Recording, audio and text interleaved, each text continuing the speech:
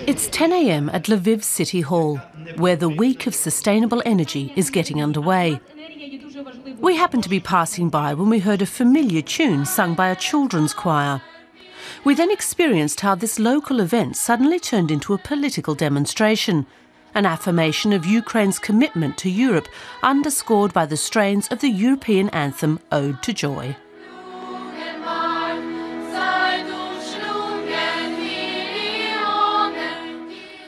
Andriy Sadovyi selected the music.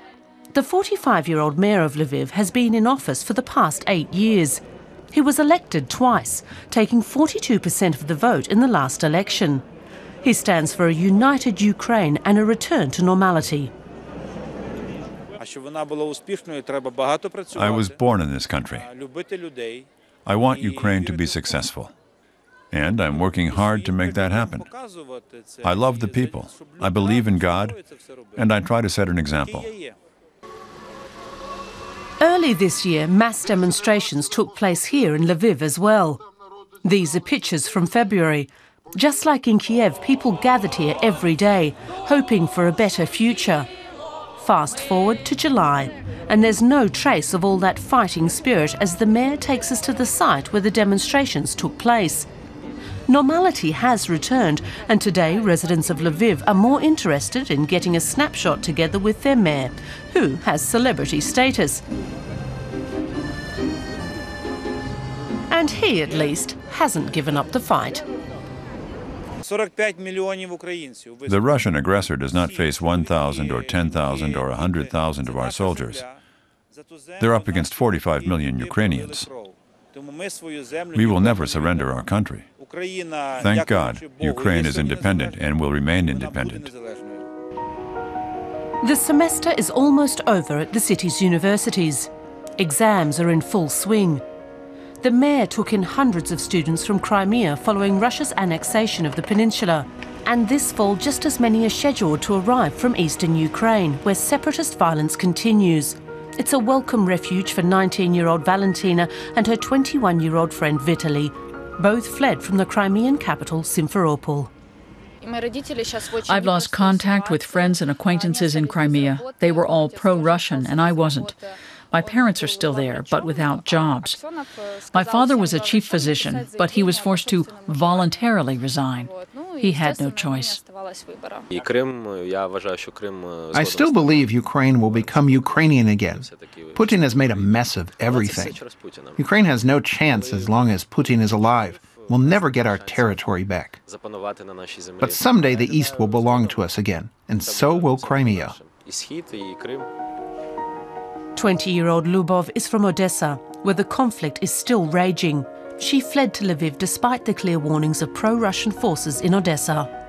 They told me a lot of nonsense. My landlord said I'd be killed in Lviv because the city is full of bandits. There are no Russian soldiers to protect us, and I shouldn't speak a word of Russian. They kill women and children there, he said, and we would starve.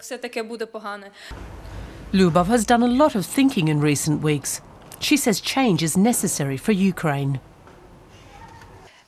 The people have to change in eastern and western Ukraine. They have to learn that life will not improve if they steal things or accept bribes. If they want better lives, they have to do something for the community. That's music to Mayor Sadovyi's ears. This afternoon, he's taking part in an initiative to restore the historic centre of Lviv every resident is asked to do their part by improving the appearance of their own courtyard.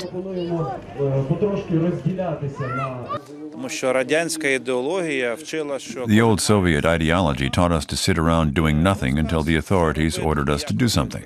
That's wrong. Now we expect people to take the initiative.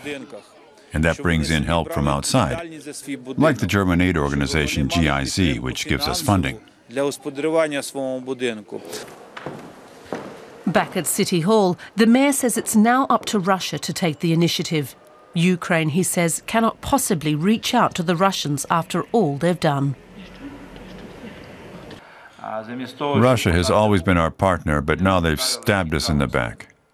And that's very painful. Now we're waiting for a sign of goodwill on their part. Only then can we be partners again, economically at least.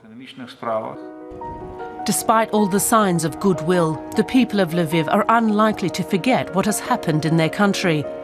At the entrance to the city hall, the mayor has hung up photographs of the demonstrators who were killed in Kiev. They serve as a reminder of what Ukraine needs most peace.